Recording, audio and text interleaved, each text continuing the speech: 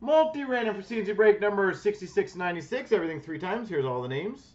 Three times whoever gets on top.